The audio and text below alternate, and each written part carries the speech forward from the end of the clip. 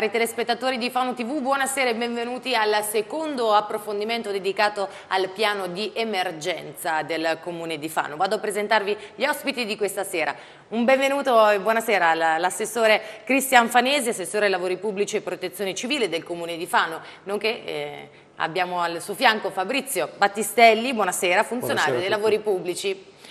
Dicevamo nell'approfondimento precedente l'importanza di divulgare questo, questo, piano, di informare i cittadini, Assessore, proprio perché ognuno deve sapere che cosa deve fare in caso di, di emergenza, di necessità e un cittadino informato è sicuramente eh, un, un, cittadino che potrà salvare la vita non soltanto eh, se stessa, la, la propria vita, quella dei familiari e aiutare comunque anche gli altri cittadini. Sì, come Comune di Fano abbiamo approvato un nuovo piano di protezione civile che è un insieme di procedure, di regole, strumenti, insomma tecnici che servono per eh, come dire, eh, preparare l'amministrazione comunale in caso di assistenza alla popolazione, ma è un piano che serve anche per chi viene da fuori a fare assistenza alla popolazione in caso di necessità. Ma in tutto questo ovviamente gli strumenti tecnici sono molto importanti, sono affinati, abbiamo dato degli incarichi specifici per rivederli e farli completamente nuovo,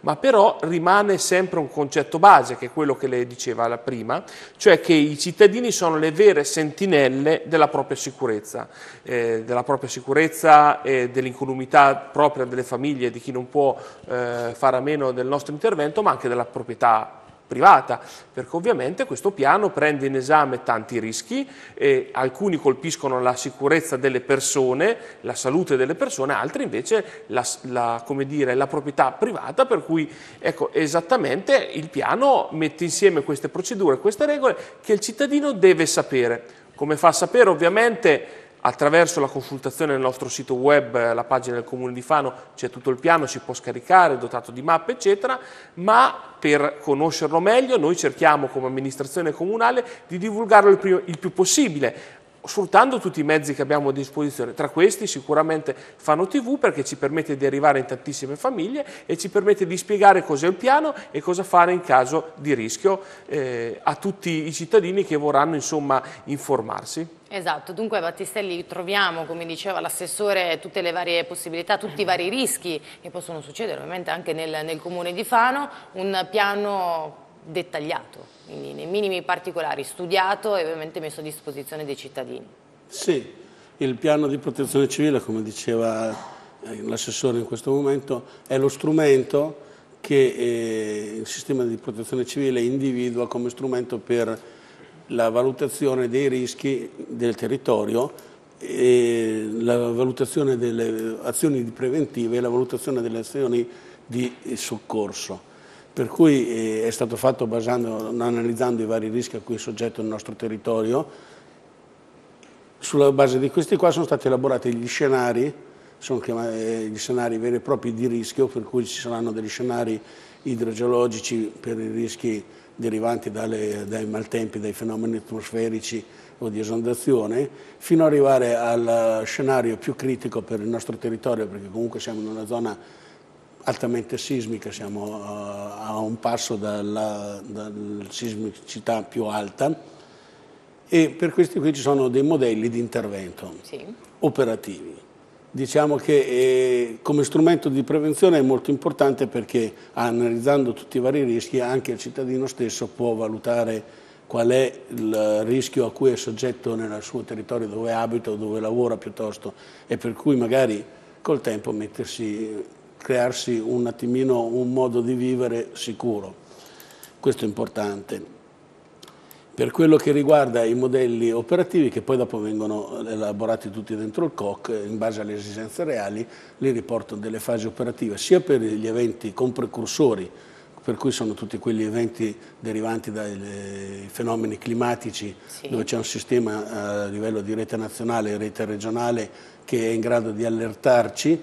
come per gli eventi senza precursori che per il nostro territorio il rischio è quello del terremoto, quello non dà delle, dei precursori. Esatto, e noi oggi ci concentreremo proprio sul, esatto. sul, sisma. Che cosa si può fare, ad esempio, nelle proprie abitazioni per cercare di evitare più rischi possibili? Esatto. Adesso sommariamente diciamo qualcosa. Comunque anche queste cose qua nel piano di protezione civile c'è per ogni scenario una parte che riguarda anche il cittadino, che cosa può fare, cosa può mettere in atto per rimitigare il, i danni derivanti da quel rischio lì, perché il rischio comunque non lo possiamo eliminare. Ad esempio, in casa eh, fare un'analisi della sua abitazione, valutare che tipo di abitazione sta abitando, sta vivendo, per cui se c'è bisogno di magari modificarla strutturalmente o no, oppure individuare nella propria abitazione un luogo sicuro dove nel momento dell'evento non bisogna immediatamente scappare e, e cercare una via d'uscita senza valutare che cosa sta succedendo, ma trovare un, un, diciamo, un angolo di sopravvivenza. Può essere un architrave, come può essere un tavolo robusto dove infilarsi, le altre cose da mettere in atto, so, sembra di parlare dal manuale delle giorni della notte, però tenere in casa una torcia elettrica funzionante, una radio a batterie, perché un post-evento eh, una delle più grosse cose è avere informazioni, avere notizie, una radio a batteria, vecchia, eh, il vecchio transistor, i medicinali di uso corrente, se qualcuno ha necessità di avere dei medici salvavita, di poterli avere a portata di mano la, la, cassetta del pronto soccorso, delle eh, coperte impermeabili. Cioè Quindi farsi un kit che dovremo sempre avere a disposizione. Un kit a disposizione, possibilmente vicino alla via di esodo, che se lo prende e se lo porta fuori. L'altra cosa che invece è questo, analizzare nel territorio dove abita o dove lavora, dove sono ubicate le aree di attesa che nel post-evento, una volta che uno è riuscito a capire che è incolume, che è a posto, che eh, può muoversi, si deve recare nell'area di attesa. Da lì poi parte tutta la macchina diciamo, del soccorso vero e proprio. Ecco, partiamo allora dalla funzione del, del Comune. Sì, certamente la funzione del Comune è quella di assistere la popolazione in questi casi di eventi. Parlando dell'evento principe, eh, quello senza precursori, quello del terremoto, quello che forse interessa a tutti perché è giusto ricordarlo, è giusto esserne consapevoli tutti, fanno una città in zona 2, eh, quindi è a rischio terremoto. E ovviamente l'amministrazione si prepara divulgando le informazioni come facciamo questa sera, anche mitigando il rischio, eh, facendo degli interventi strutturali in un patrimonio fragile però c'è anche quello che si può fare dopo il eh, terremoto e quindi quello di assistere la popolazione in questi casi. Prima cosa vorrei eh, dire eh, questo, eh, in caso di evento sismico ovviamente non c'è nessuna preparazione, nessuno può, può stabilire quando e come avverrà, Ovviamente bisogna mantenere la calma, bisogna mantenere la calma perché ovviamente eh, lucidi e ragionare, pensare a se stessi ma anche alle persone che non sono autosufficienti, ai bambini, a chi insomma non si può muovere senza un aiuto. La prima cosa è trovare durante l'evento sismico un luogo sicuro, come diceva eh, Fabrizio Battistelli, un luogo sicuro sotto il quale o comunque in prossimità del quale potersi ehm, eh, riparare in maniera tale da non essere colpito da cornicioni, mobili che cascano, eh, quindi evitare assolutamente ballatoi, evitare finestre, porte finestrate, eh, eh, di, uscire, stesso, sicuramente perché... di uscire, non prendere l'ascensore, cercare di evitare di sostare nelle scale perché ovviamente eh, diciamo per, perché ci potrebbero essere eh, delle persone che si comportano diversamente da noi, che si fanno prendere dal panico. Comunque quando c'è il terremoto l'importante è stare dentro casa, se si è all'interno della casa, della propria abitazione, del posto di lavoro e trovare un posto sicuro durante il quale passare questi attimi che possono essere anche terribili. Non correre rischi, non uscire e quindi soprattutto non fermarsi in zone dove potrebbero succedere delle cose, eh, mobili come ho detto, cornicioni eccetera. Ugualmente nel posto di lavoro, ovviamente la stessa cosa si fa lì, nelle scuole è la stessa eh, identica cosa e lì ci sono dei programmi specifici messi in campo dagli istituti scolastici che insegnano ai agli insegnanti ma anche ai bambini a come comportarsi. Poi subito dopo iniziare a vedere che cosa sta succedendo, cercare di dare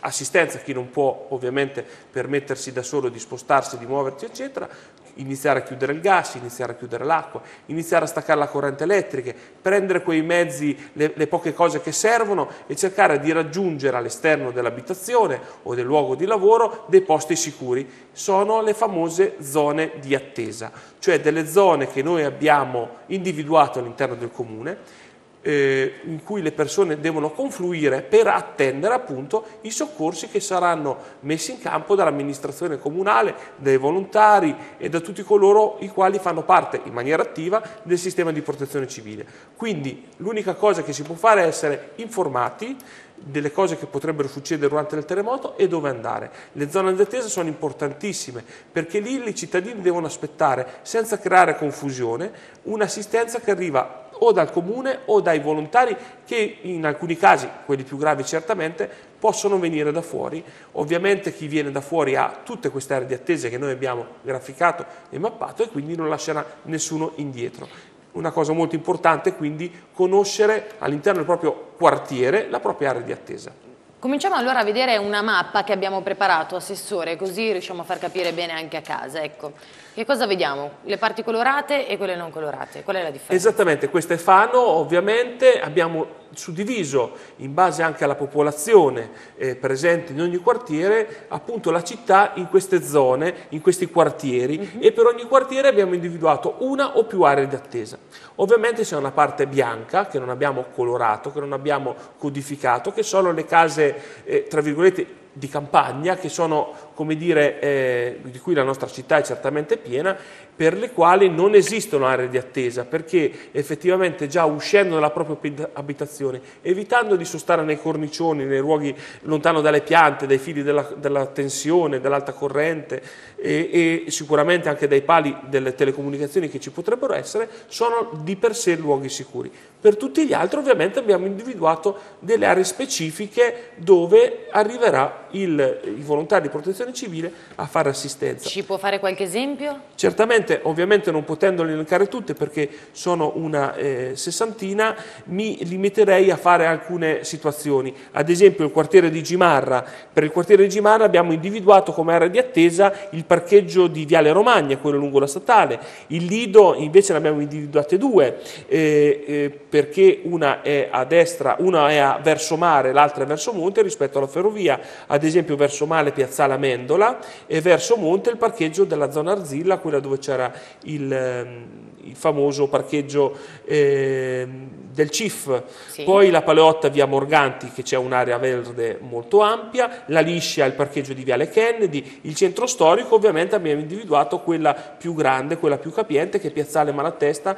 presso i giardini Biancheria e Morelli, quelli insomma vicino alla, alla Rocca. La Trave il parcheggio campione dello sport, praticamente di fronte all'area sportiva, al Poderino Piazza Unità d'Italia, San Cristoforo il parcheggio di Via del Risorgimento, Don Gentili via Don Giovanni Bosco dove c'è un'area verde lungo la via, Sassonia il parcheggio di Via dello Scalo, poi c'è l'ospedaletto che è il parcheggio eh, di fronte al vecchio ospedaletto in via Mercantini, la stazione eh, ovviamente è di per sé una zona diciamo, eh, di attesa, San Lazzaro i parcheggi eh, diciamo, vicino alla chiesa, vicino al centro commerciale, fanno due il parcheggio eh, di via Guarnieri, Piazza del Popolo, l'area verde appunto di Piazza del Popolo e questi sono alcuni esempi. Ovviamente noi eh, nei prossimi mesi eh, doteremo tutte queste zone di una segnaletica ad hoc dedicata, indicheremo queste come aree di attesa dove appunto le persone potranno giornalmente eh, come dire, prendere dimestichezza con questa necessità. Poi ovviamente in caso di terremoto, in caso di evento sismico importante, le zone di attesa accumula, si accumulano la gente poi verrà distribuita nel caso le case non dovessero essere più agibili in zone di accoglienza e i tecnici ammasseranno tutte le necessità tecniche nelle zone di ammassamento che abbiamo già individuato, però a questo punto direi che non sono eh, molto utili da indicare perché il, Comunque il già tutto eh, studiato, anche in questo caso sono pronte, pronte ad ospitare eventualmente cittadini che ne dovessero avere bisogno? Sono studiate, graficate, ovviamente eh, la protezione civile nel caso dovesse succedere un evento di questo tipo anche persone che vengono da fuori possono trovarle, individuarle eh, col GPS, con le mappe, eccetera, senza nessun problema. Eh, nel caso delle zone di accoglienza potranno essere anche allestite appunto all'occorrenza e quindi ovviamente solo in fase di emergenza. Quindi non sono pronte, nel senso non sono capaci subito magari di accogliere le tende eccetera, però ovviamente nel giro di 448 come abbiamo dimostrato anche dall'esercitazione che abbiamo fatto durante questo ultimo agosto, eh, la protezione civile con tutti i mezzi, la colonna mobile arriva e dota l'area che abbiamo individuato di tutti i servizi, eh, le, quindi acqua, fogni eccetera, e di tutti appunto gli alloggiamenti che dovessero certo. essere necessari. Ecco, quindi insomma Battistelli, questo centro operativo comunale sarà un po' la regia? Sì, il centro, il centro operativo comunale, il famoso COC, che è la struttura dove si riunisce eh, le funzioni di supporto al sindaco, perché come dicevate già nella precedente puntata, il sindaco è l'autorità che governa le situazioni di emergenza durante un uh, evento.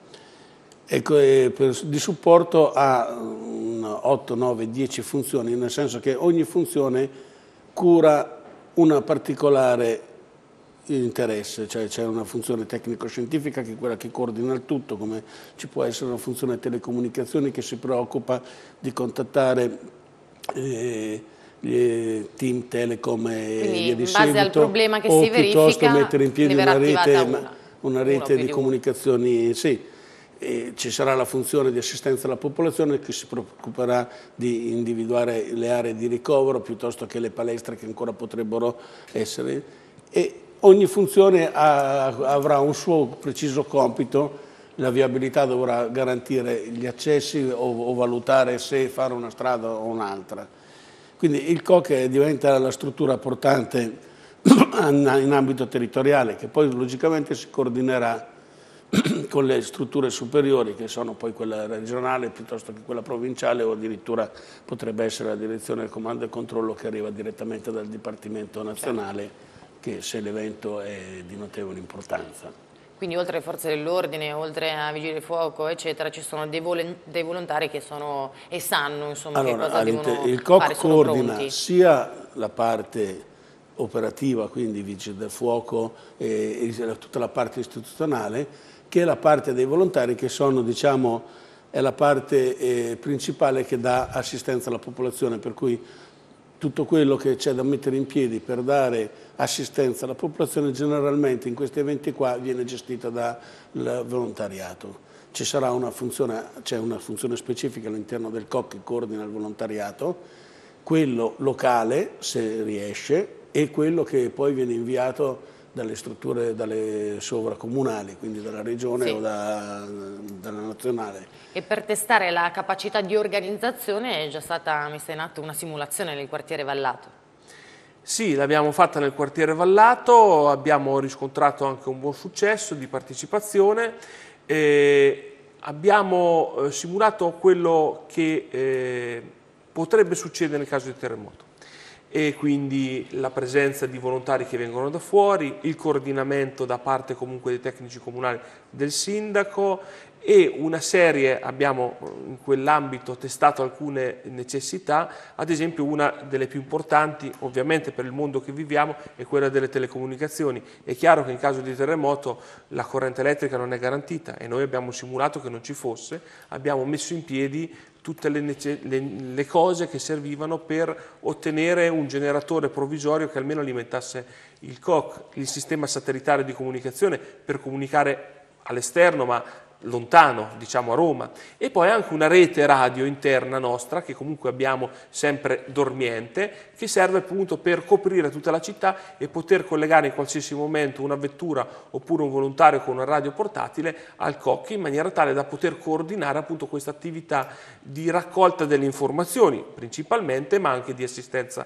alla popolazione è quello che succede poi realmente nei fatti che avvengono purtroppo, che sono avvenuti recentemente purtroppo al sud delle Marche. È importante raggiungere tutti i posti, comunicare, è importante dare eh, dire, assistenza alla popolazione, ma anche eh, mettere in rete tutti quei volontari, quei tecnici eccetera, che poi sono capaci di poter dare assistenza. Quindi questa è stata la sfida più importante, così come, eh, qui lo sottolineo, eh, perché credo che sia una cosa molto importante, una cosa nuova che è entrata nel piano di protezione civile, che è una, un piano ovviamente di eh, concezione molto moderna, eh, è quella della comunicazione, ovvero usare i media in maniera tale che attraverso questo patto, tra virgolette, tra amministrazione, chi gestisce l'emergenza in questo caso, e i mass media possa avere anche una collaborazione proficua, ovvero le, le, le informazioni vengono date dalle amministrazioni perché è giusto informare e d'altra parte i media si mettono tra virgolette a disposizione eh, dell'amministrazione per evitare eh, confusione, per dare la giusta informazione, un po' quello che è avvenuto anche se eh, non era quella un'emergenza di protezione civile con la bomba, nel senso che attraverso i media abbiamo potuto come dire, informare correttamente la popolazione che correttamente ha fatto quello che noi ci aspettavamo potesse esatto, fare. Esatto, quella era una, non tanto una simulazione, ma proprio un'esercitazione no? vera, vera, e propria ed è andata anche molto bene, direi. Insomma, tutti hanno, sono riusciti a svolgere le proprie funzioni senza creare allarmismo, senza... Non era facile perché non, era facile. non, eravamo pronti a questo scenario, tra virgolette, è una cosa inedita ovviamente, che individuava, comunque colpiva una parte della città, è stata un'esperienza che ovviamente eh, a questa amministrazione è stata molto utile appunto per eh, se così si può dire, testare, testare. le esigenze, ne, le necessità della popolazione sul campo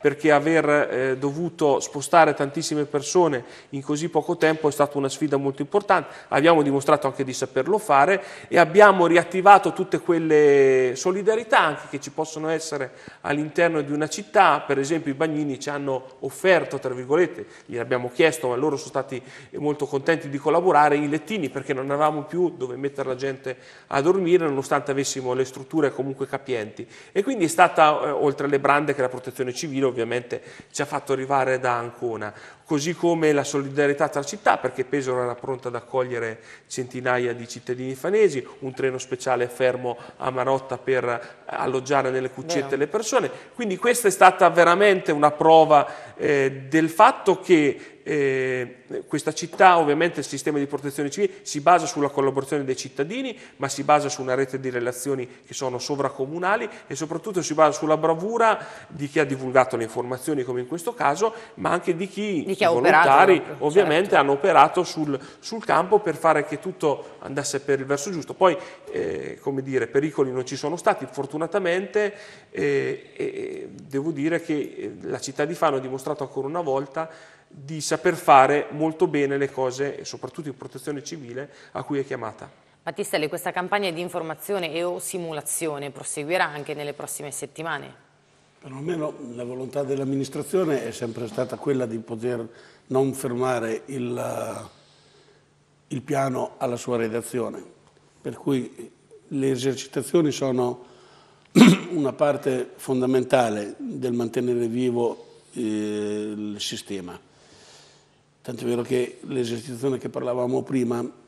in realtà erano due esercitazioni, cioè una è stata fatta nel chiuso del centro operativo comunale al mattino, dove tutte le funzioni sono state messe sotto pressione da dei scenari che aveva individuato la regione, per cui nessuno era a conoscenza di quello che capitava. Una stupidaggine, individuare il fornitore di bombole per poter fornire sui campi il funzionario che doveva fare approvvigionamento mezzi è arrivato fino ad ordinarle e poi le ha fatte fermare, anzi no, tre sono arrivate perché il campo ha dovuto funzionare. In contemporanea c'è stata quella più scenografica, l'esercitazione che era stata messa in piedi dalla struttura nazionale della FIRCB che mi sembra che Olivia aveva spiegato che loro sono federati con questa associazione che ha una colonna mobile nazionale, per cui quello è quello che realmente capita in un evento di questo tipo qua. Chi porterà i soccorsi alla città di Fano non saranno i nostri volontari, perché molto probabilmente sono impegnati, ma arriveranno da fuori. Quindi devono trovare sulla carta tutto quello che gli può essere necessario per impiantare un campo e riuscire a dare un uh, tetto sopra la testa e un piatto di pasta calda nel più breve tempo possibile alle persone che sono in esigenza. E Fanesi incontrerete anche i vari residenti dei quartieri? Sì, inizieremo un percorso ovviamente che ci porta a divulgare questo piano attraverso il web, attraverso la tv, ma anche incontrando le persone, perché ovviamente in maniera, che, eh, in maniera più unifoca ci possa essere questo contatto diretto con le persone che hanno anche da porci delle domande. Lo faremo e lo faremo con i volontari del CB Club Mattei eh, perché divulgare eh, questo piano oltre che un piacere, perché parlare alla gente è sempre un piacere, spiegare le cose è un dovere dell'amministrazione e un'amministrazione lungimirante deve cercare di informare la popolazione sui rischi che questa può correre. E anche noi continueremo a parlarne durante i prossimi approfondimenti. Ringrazio l'assessore Cristian Fanesi e il funzionario grazie Battistelli, grazie per essere stati con noi e a voi tutti un buon proseguimento di serata. Arrivederci. Buona serata.